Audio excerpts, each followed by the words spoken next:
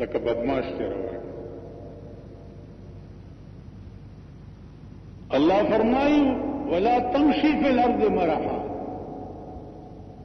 پس مکه با غرور کې نه ستا سزور او سه حیثیت ته څه شي نه دا ځمکه سیرې کولی شي او نه د سر اسمان ته رسېدی شي د ته څه شی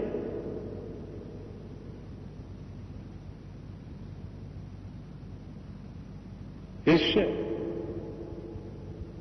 نو دې وجه نه چې په لاره ځي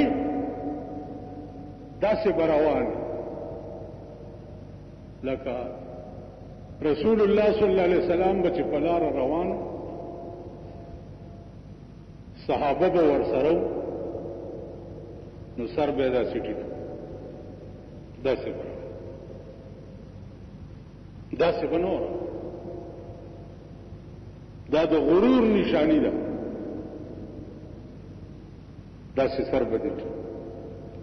تپوس ته وشو چې یا رسول الله ته هر وخت داسې سر ټیټ روان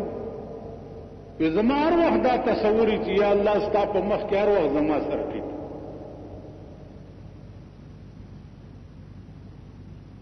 اوس د خلکو ته ګو سړی لا سکه دا خدي په لار څنګه راوړي په شرمونو پټی شي خدایم بنیاد وباسي خزي دا لکان زمونږ د زمانه دا نوجوان ته پتا سو ګوري دوی په لار څنګه خالص غړي دمان دي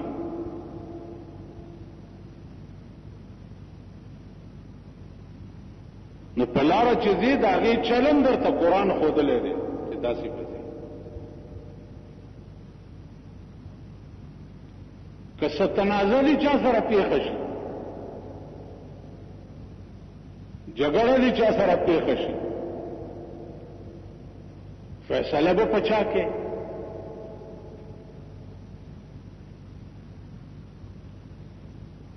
قران کریم فرمایي چې فیصله به په قران کې ومن لم يحكم بما انزل الله فاولئک هم الظالمون چا چې خپل فیصله په هغه کلام و نکړه چې کوم ما نازل کړی دی نو الله فرمایي دا ظالمان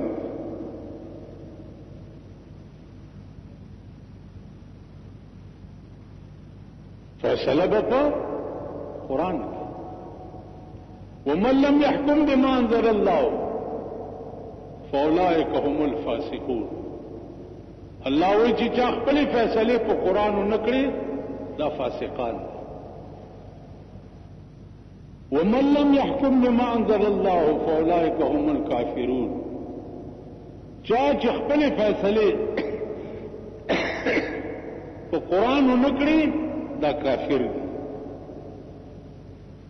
د قران په وجود کې او د قران په موجودګۍ کې چا خپل فیصله قران ته ونه سپارلې الله وی دا کافر دی ظالمان فاسقان کافران درې فتوی الله په لګولې چې چا د جون فیصله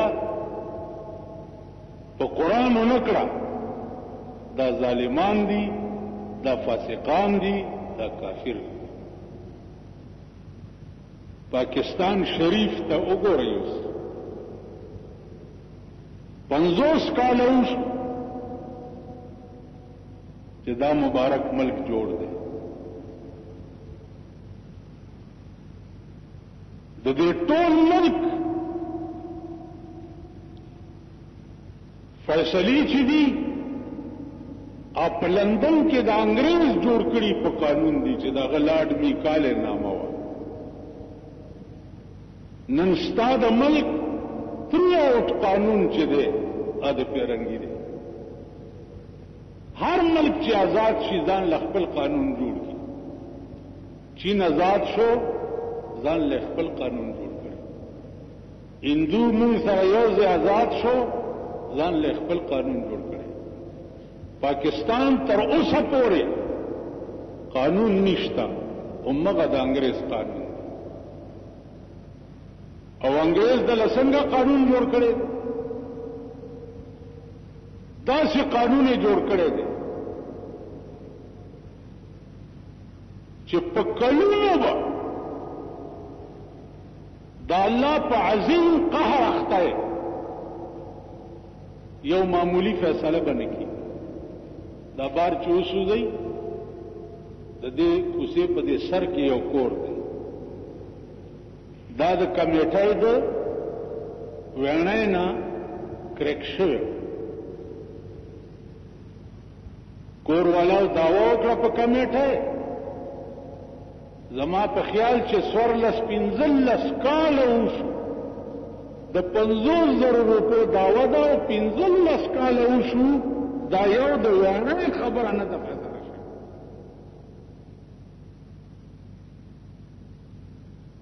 او بیا د الله د تانه سره نسبت مپه خو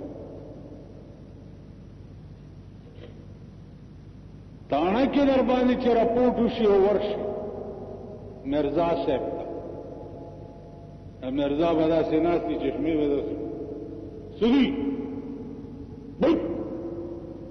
تا نه بړو کلو بدمعاش مړ به در نه بوټي درته بل تبار ودرګه د سپي غوندې به بار ولاړې او د سپي په نظر به درته نن مونږ سپی یو سپی بنی آدم نه یو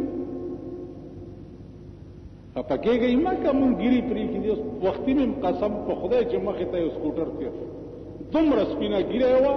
او دوه منی ز بوجه ځان پسې کېنولې دا سپی دي نو مونږ ته نن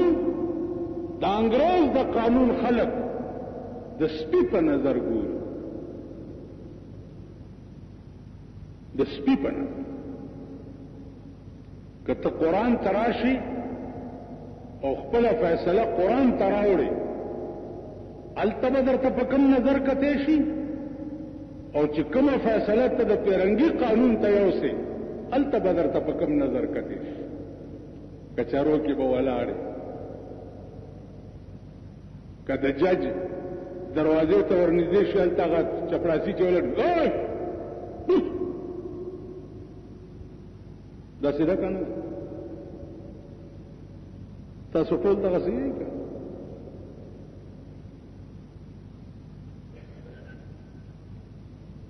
نو نن د انګريز قانون د ملک او د قوم نه سپه جوړ کړي او په کوم قانون کې چې عزت ته هغه قانون ته نږدې نه راځي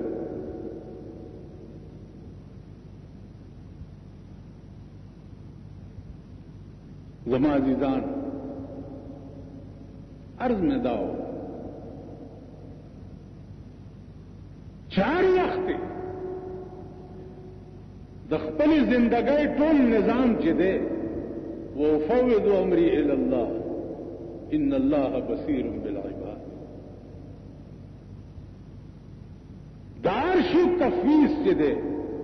هغه الله ته کوه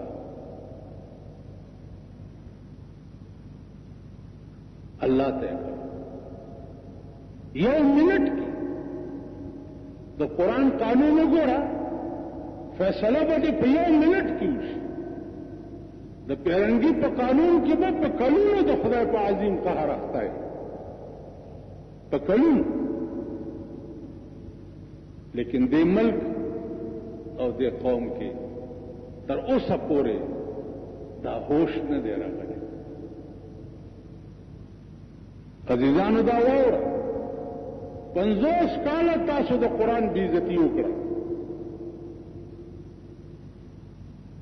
د کپرون تاسو چغې والي چاله توهین رسالت شوه په اخبار کې توهین رسالت شوه نن ټول پاک پاکستان چې ده او هغه توهین خدا کوي لګیا دی هغه توهین قرآن کوي لګیا دی پاغي چم جلوس ورنه وستو توهین رسالت شه د بيدینو نه بتل پیغمبر د عزت څخه توقع کې ته خو بيدینه دي ته د هر اخبار په دې منځ کې رنگینه صفه وګوره تمام پکې د ډلو فوټوان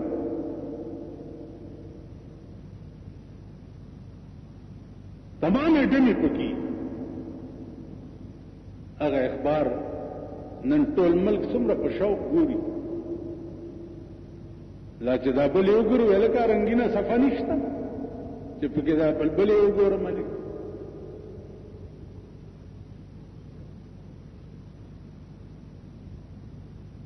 نو دی وجنه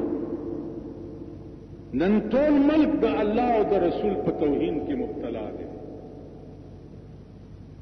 رسول الله صلی الله علیه وسلم دیار لسنیم لکه خبرې کړې دي د قوم ته دیار لسنیم لکه الله په قران کې شپږ زره او شپږ سو او شپږ شپې ته خبرې کړې دي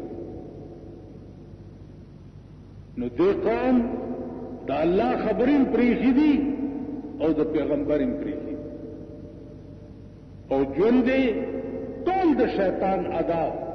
او د شیطان حرکاتو ته وقف دی اوس خلک ما ته وایي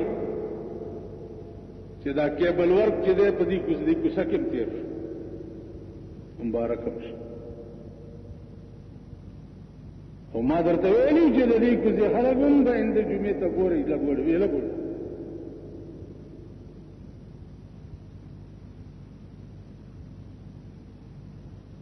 ما تراشی جوړ ګران دي چې دا بس کیږي او سبزی ګران الله پاک دې در باندې هغه قحط راولي چې کوم قحط په يهودو راغلی هغه قهر در باندې راشي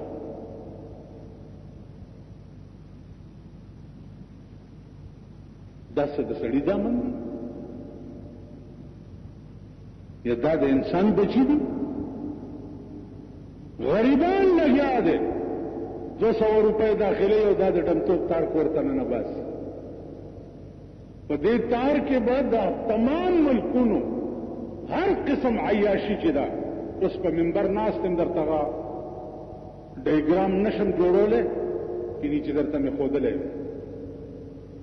چې خیب په کې سر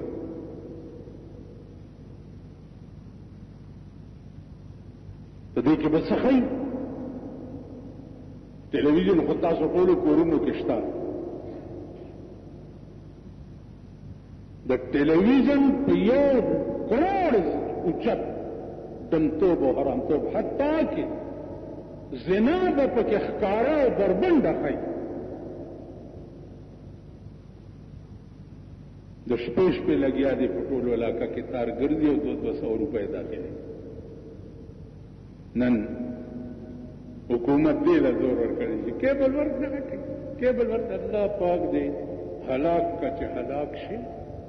خدای دې هلاک کا دې ملک ته د دې کمزرتوب او دمتوب ډېر ضرورت دی خدای دې هلاک کا چې هلاک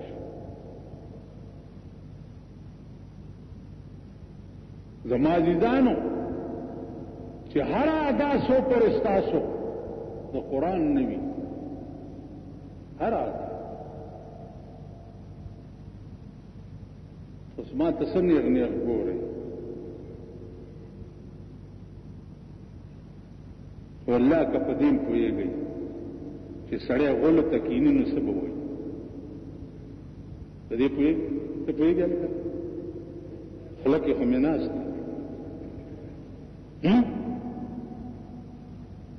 ته چغول ته کینې څه ها بسم الله بوله دا سه مبارک کار کې چې بسم الله بوله نه وګوره پاسه پاسه درګه مخه خواګه اخوا مخ کړه ګیره هم پرېښې ده ټوپۍ ته یې وګورئ دا ملک دی او دا قوم دی او دا خلک دی په دې هم پیغمبر دا نه وي پرېښي چې ته اودسماتي ته کېنې نو څه به وایې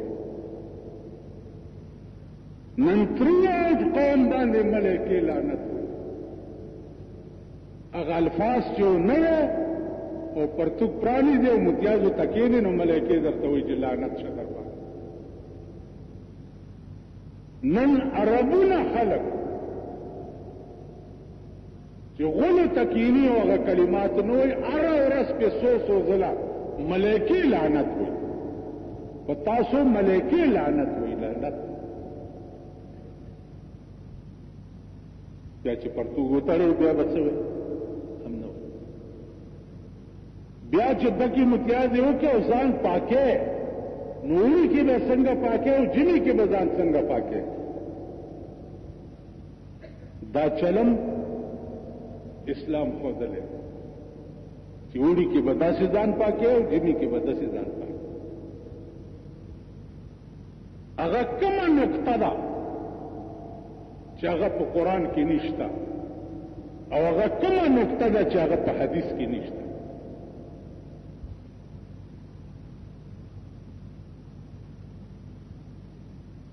لیکن دې قوم دین پرېږه نو د الله په عظیم قهر اخته دي د خدای په عظیم قهر گرفتار کابل کې وګورئ تاسو دمر ملک او د اسلام په نوم پکې حکومت راغی ته خو ورشه پکې یا خزه بربنده وګوره بی ګیری سره نه پریدي په توي وي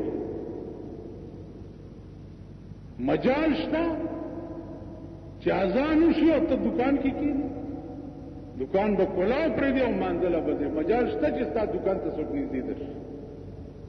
یو طالب ولاړ دلته په رڼا ورځ په رڼا ورځ د ویښې مور نه زوی تښتي په رڼا ورځ ما خپې خوږېږي چې مونځ مې دکان کې کولو ما مونځ کولو وروسته نه سړی راغلی دی او صاحب د پیسو ګوته یې اوچته کړې وړې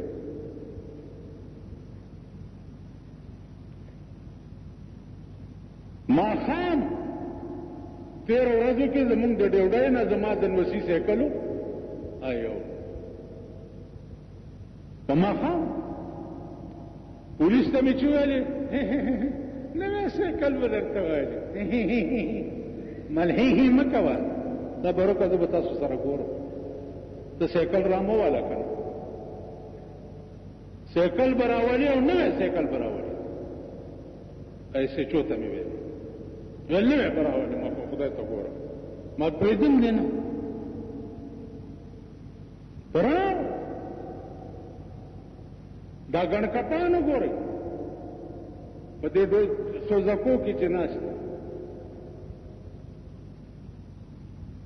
پروسه کال یو سره راغی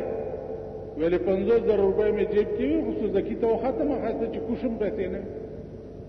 دا د جیب ګڼ کپان چې زه یو د جیب ګڼ کپ نیسم کمیس پرتوک ته وباسم او لخت ورته نیسم او په دې سره کوئی راکاږم زه وګورم چې بسو ګڼ کپی اوس ته چې پولیس ته راپورټ وکړي دی فیار او کیس مجسټریټ سره داخل وکیل به ورته نیسي او باس به پکې او قانون دا او پلانې دا د خدای در باندې آسماني شړه کړو ورته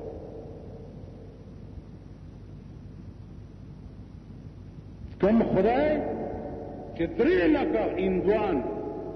د زلزلو لاندې کړي دي او تر اوسه یې لاشونه راوباسي هغه خدای پاکستان هم د زلزلو لاندې که نه شي کولی تاسو خو بدماشان یې زلزلې سره به مقابله وکړئ یو څوک شي ته د خپلې چغې بیا ګوره پښې به دې یو ځای پرتې یو کونه به دې بل ځای پرته یو سر به دې بل ځای پروت دی د سوټۍ زوی هغه کم کار در پر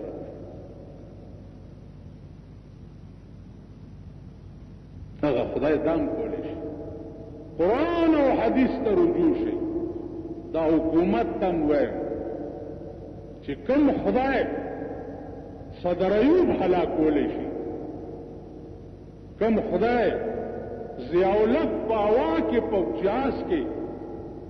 ټوکړې ټوکړې کولې شي کوم خدای د بوټو غوندې سړی په تختیدار او پانسی کولې شي هغه خدای مشرف سرم دا کار کولې شي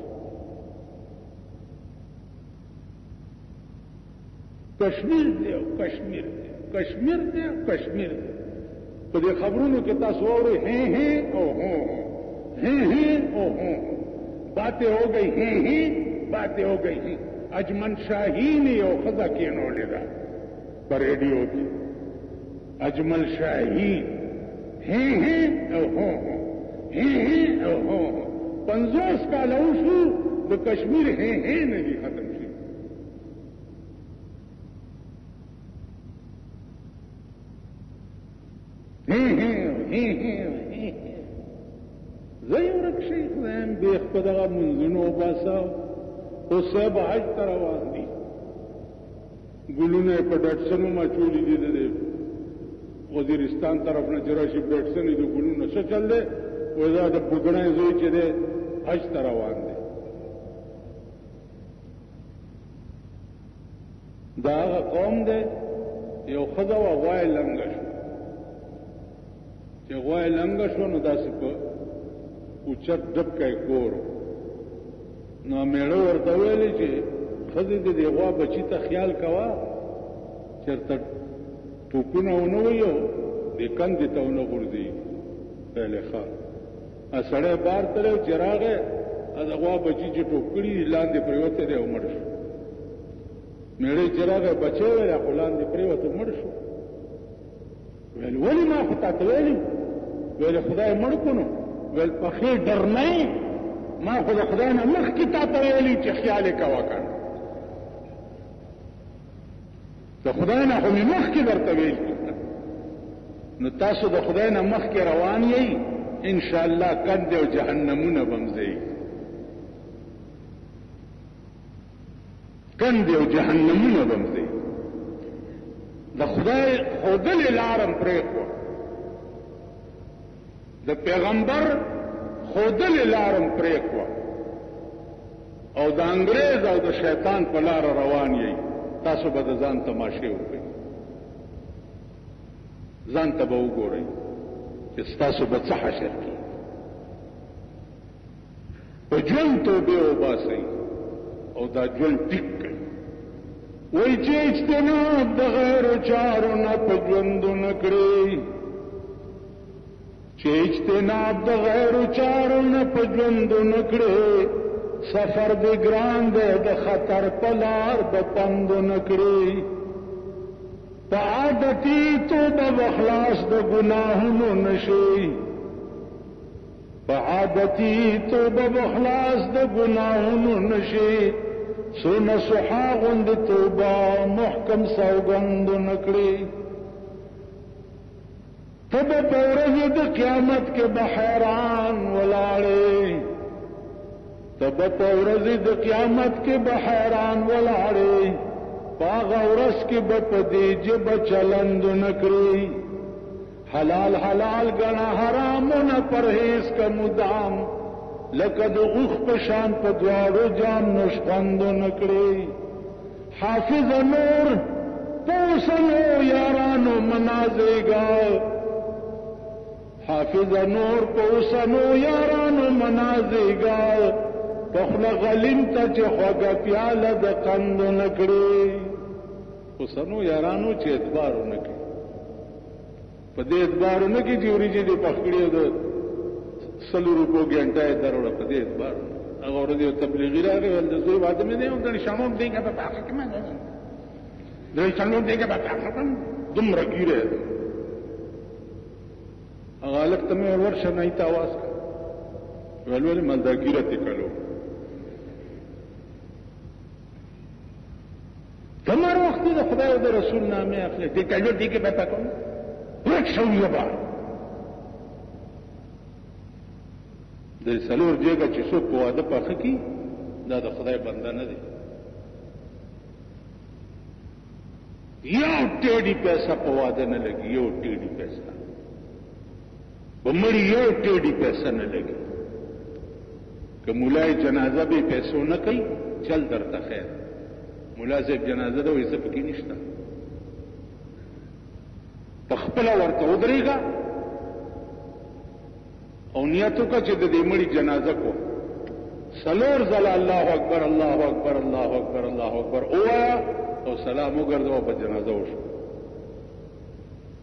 ته پوه شي په خبره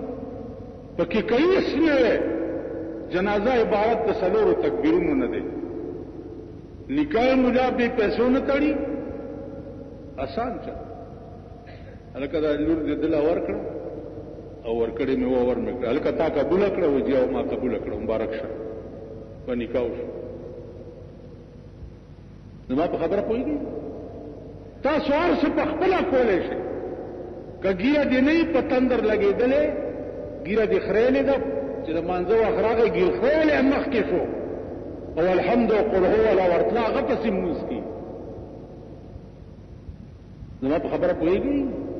یو ټیډي پیسې په دین نه لګي یو ټیډي دا هر څه مشکلات چې دي هغه مونږ ځان ته پخپله جوړ کړي دي. سړیتوب زده که. واخر دعوانا ان الحمد.